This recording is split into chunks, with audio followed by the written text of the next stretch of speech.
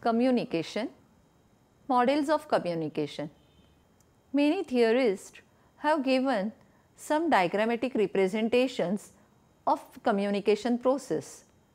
In this module, we will see Osgood and Schramm's circular model.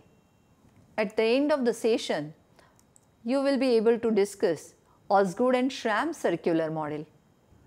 Generally in communication, we talk about senders and receivers. But we also realize that after communication process begins, when it gets complex and complex, it becomes very difficult to identify senders and receivers. We know that sender encodes the message.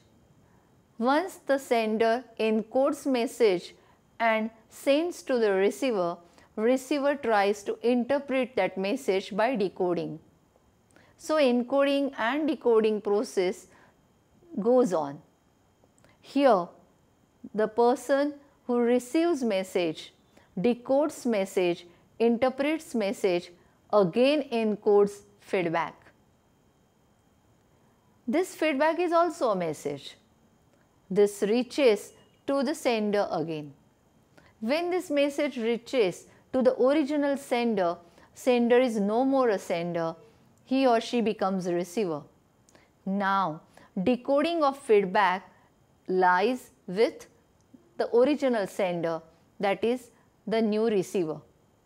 After decoding feedback message, the person again encodes new message or response to the response. The message again is encoded, sent to the other person, the other person decodes message, interprets it, again encodes a new message.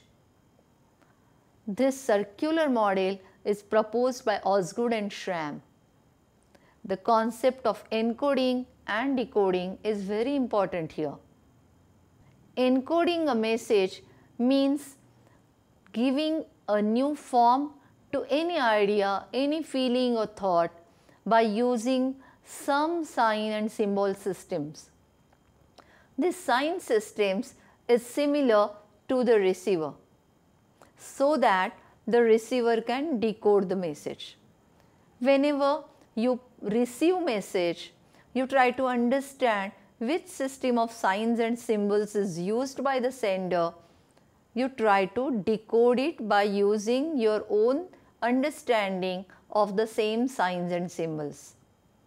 When you try to perceive this, when you open this message, when you analyze this message, decoding gets converted into interpretation.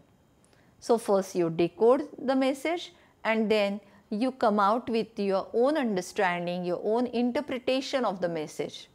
On the basis of your interpretation, you create a new message as a feedback. Now, for creating this message, you again try to find out some system of symbols and signs which is familiar to the person to whom you are sending feedback. Here, tying or giving a form to your feedback in some system is a process of encoding. Here, receiver becomes the sender. Now this encoded message is sent back to the person who has originally sent the message. While receiving the new message from you, this person will first decode the message by using system through which the message is formed. This is decoding. So encoding is giving a message new form and decoding is understanding the form, the signs and symbols and opening the message. After decoding, interpretation starts and this interpretation is actually understanding of message. Interpreted message is the real message and not the encoded message.